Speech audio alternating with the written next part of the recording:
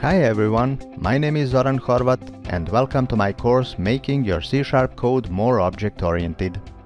I am a principal consultant at Coding Helmet and part of my work involves correcting other people's code. What I find funny about that is that most, and I do mean most of the code I read is really not object-oriented. It is rather procedural, with classes and modules only being the formal containers of code.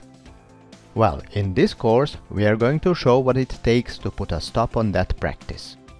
You will see how to avoid branching and looping, how to avoid boolean expressions, how to make domain logic implementation dynamic and configurable.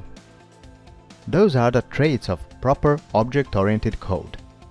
By the end of this course you will be able to recognize your own errors of the past and build more correct coding style. Before beginning the course, you should be familiar with such concepts as polymorphism, inheritance and similar. You should also master the C-sharp language itself, like having no second thoughts about control structures or delegates, for example. From here, you should feel comfortable diving into related courses on the C-sharp language internals or defensive coding, to name a few.